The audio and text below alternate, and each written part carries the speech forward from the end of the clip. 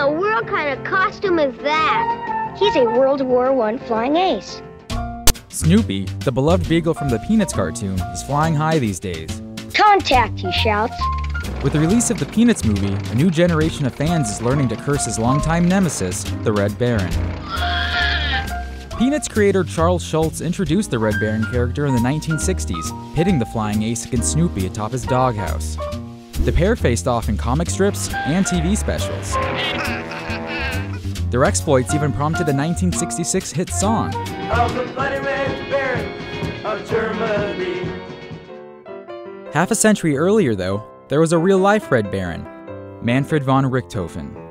The German aviator downed more planes than any other airman in World War I and got his nickname for his bright red Fokker DR 1 triplane. But nowadays, the real von Richthofen is mostly forgotten. In his home country, a restaurant in Berlin's Tegel Airport is one of the few places bearing the Red Baron name. While outside of Germany, it's used to promote everything from dog kennels to motorcycles and a slew of bars. There's even a Red Baron frozen pizza, featuring an aviator who looks more like Tom Selleck than von Richthofen. The food company says the resemblance is coincidental. They say their pizza baron represents strength and romance.